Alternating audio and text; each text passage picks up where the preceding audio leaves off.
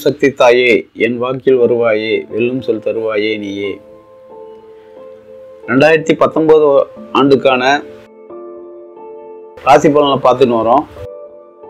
அந்த வரிசையில் இந்த பகுதியில் நம்ம பார்க்க போகிற ராசி மீனராசி இந்த ரெண்டாயிரத்தி பத்தொன்பதாம் வருஷம் மீனராசிக்காரங்களுக்கு கிரக நிலை எப்படி இருக்குதுன்னு பார்த்தீங்கன்னா பத்தாம் இடத்துல சனீஸ்வர பகவான் ஒன்பதாம் இடத்துல குரு அஞ்சாம் இடத்துல ராகு பதினோராம் இடத்துல கேது வருகிற பிப்ரவரி மாதம் பதிமூணாம் தேதி ராகுது பயிற்சி நடக்குது. அந்த பயிற்சிக்கு பின்னால் என்ன மாதிரி நட- நடக்கும் அதையும் சேர்த்தே பார்த்துருவோம். உங்கள் ராசிநாதன் ஒன்பதாம் இடத்துல இருந்து உங்கள் ராசியை பார்க்குறாரு. ராசிநாதன் ராசியை பார்க்குறாரு குரு பார்க்க கோடி தோஷம் நிவர்த்தின்னு சொல்லுவாங்க. உங்கள் ராசிநாதன் உங்கள் ராசியை பார்க்கறது ஒரு ரொம்ப விசேஷமான ஒரு விஷயம். பதினொன்றுக்கும் பன்னெண்டுக்கும் அறிவியான சனி பகவான் பத்தில் இருக்கார். பத்தில் ஒரு பாவியாவது இருக்கணும்னு சொல்லுவாங்க. அப்படிப்பட்ட நிலையில் உங்களுடைய ராசிக்கு பத்தாம் இடத்துல சனீஸ்வர பகவான் வந்திருக்கிறது. உங்களுக்கு நன்மையை அளிக்கக்கூடிய ஒரு அமைப்பு. அவர் பதினொன்றுக்கும் அதிபதி ஆகுறாரு இந்த கேது பத் பதினோராம் இடத்துல இருந்து இப்போ பத்தாம் இடத்துக்கு மாற போறாரு. பிப்ரவரி ப- பிப்ரவரி பதிமூணுக்கு அப்புறம். அவராலையும் உங்களுக்கு கெடுபலன் இல்லை. நாலாம் இடத்துல வரக்கூடிய ராகு பகவான் சில கெடுபலனை செய்கிற சூழ்நிலை இருந்தாலும் குரு பார்க்க கோடி தோஷம் நிவர்த்தின்ற அடிப்படையில் உங்களுக்கு நற்பலனே அதிகமாக நடக்கும். உங்கள் தொழில் மந்தமாக நடந்தாலும் நல்லாவே நடக்கும். அதில் ஒன்றும் தப்பு இல்லை. தொழில் வளர்ச்சி அடையும். லாபம் சம்பாதிக்கலாம். தொழில் முறையில் வியாபாரத்தில் லாபம் வரும். கேது சிறு சிறு தடங்களை செஞ்சாலும் தொழில் முன்னேற்றம் ஏற்படும். நாலாம் இடத்துல இருக்கிற கேது பகவான் வருகிற கேது ராகு பகவான் நாலாம் இடத்துல பயிற்சி பண்ற ராகு பகவான் மன சந்தோஷங்களை குலைக்கிற மாதிரி இருக்காரு. தேவையற்ற மன உல மனக்குழப்பங்களை ஏற்படுத்திக்க வேணாம்.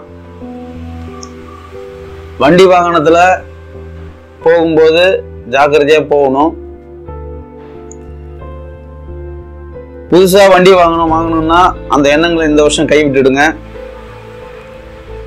தாயார் நலனில் அக்கறை எடுத்துக்கணும். தாயாருடைய உடல் சம்பந்தமான விஷயங்களில் செலவினங்கள் செய்கிற மாதிரி இருக்கும். பூமி நிலம்பெயரில் ஏதாவது பிரச்சனைகள் இருந்துன்னு சொன்னால் இந்த வருஷம் அதை கண்டுக்காத விட்டுருங்க. அதை பெருசுப்படுத்துனீங்கன்னா அது சிக்கலில் கொண்டு போய் விடும்.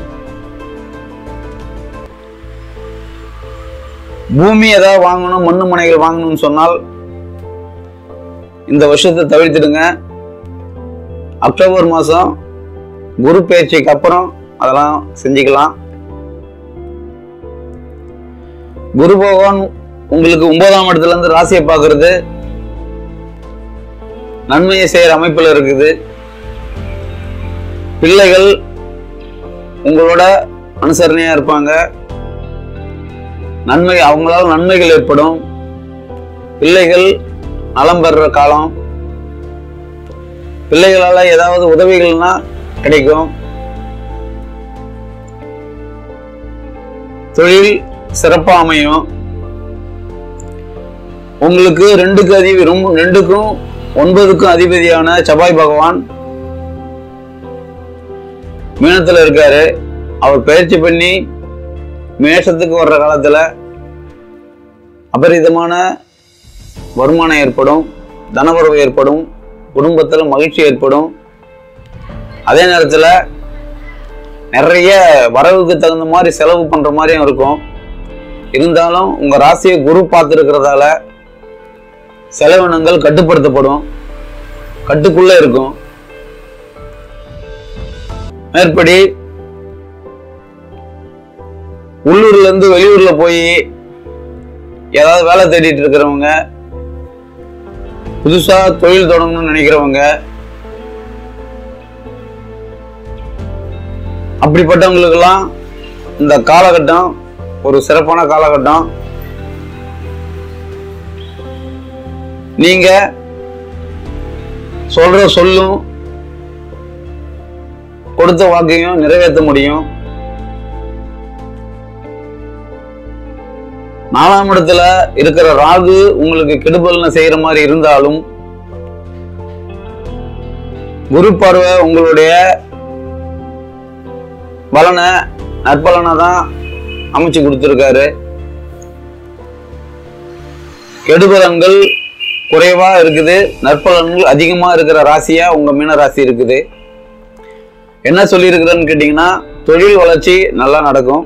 தொழில் நல்லா நடக்கும் வியாபாரம் நல்லா நடக்கும் வருமானம் நல்லா இருக்கும். அடுத்தபடியாக பார்க்க போனீங்கன்னா பெரிய மனிதர்கள் மூலியமா நன்மைகள் ஏற்படும். பேங்க் லோன் போட்டிங்கன்னா உடனே கிடைக்கும். பொருளாதார வளர்ச்சி ஏற்படும் சிக்கல் இருக்காது. வியாபாரத்தில் சிறு சிறு தடங்கள் இருந்தாலும் எல்லாம் சரியாகி நல்ல நல்ல நிலையிலே தொழில் முறை இருக்கும். அடுத்தபடியாக பார்க்க போனீங்கன்னா வாகனம் வாங்குற அமைப்பை தவிர்த்துடுங்க.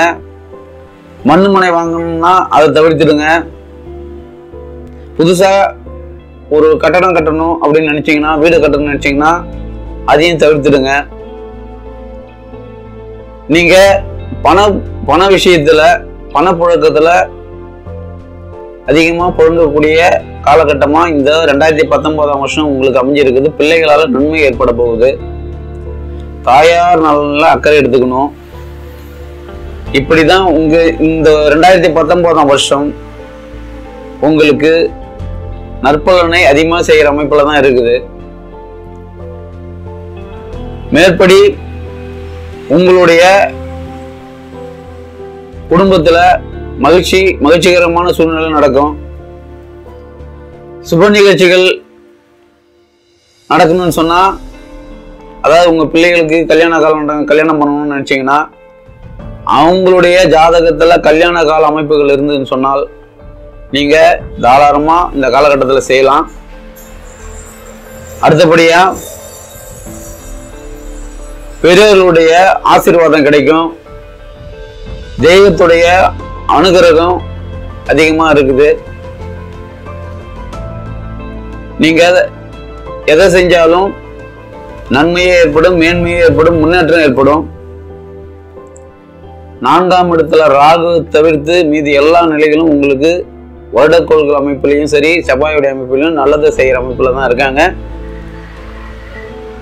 இது இந்த பலன் எல்லாமே கோச்சாரத்தை அடிப்படையாக வச்சுதான் உங்களுக்கு சொல்லிட்டு வரேன்.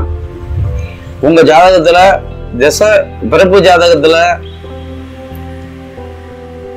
படி உங்களுக்கு பிறப்பு ஜாதகப்படி உங்களுக்கு இப்ப நடக்கிற திசை நல்ல திசையா நற்பலனை செய்யக்கூடிய திசையா யோக திசையா இருந்ததுன்னு சொன்னால் நற்பலன்கள் அதிகமா இருக்கும். தசை தசைப்படி உங்களுக்கு தீய பலன் நடக்கிற மாதிரி இருந்தால் கெடுர் பலன்கள் குறைந்தும் நற்பலன்கள் ச- சமமான அளவிலும் நடக்கும்.